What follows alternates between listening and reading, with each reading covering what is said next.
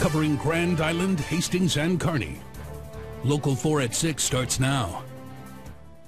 Parts of the Midwest were hit with severe weather Friday, including parts of Kansas, and today some families are left picking up the pieces of their homes. Plus, Grand Island Fire and Rescue are looking to add on to their team, and today they held a recruitment event to help get the word out. But first, we now know the name of another woman who says she was groped by gubernatorial candidate Charles Herbster.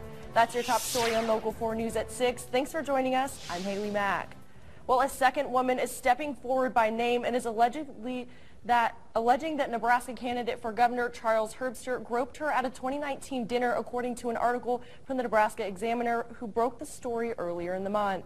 23-year-old Elizabeth Todsen was an employee of State Senator Dave Murman when she attended the 2019 Elephant Remembers fundraiser for the Douglas County Republican Party. She says Herbster shook hands with her and then pulled her into, quote, an aggressive embrace, then saying his hand grabbed her butt. Todsen said she tried to push away from him but couldn't. The first woman to come forward was Julie Slama. She told the Examiner that she saw Herbster grope a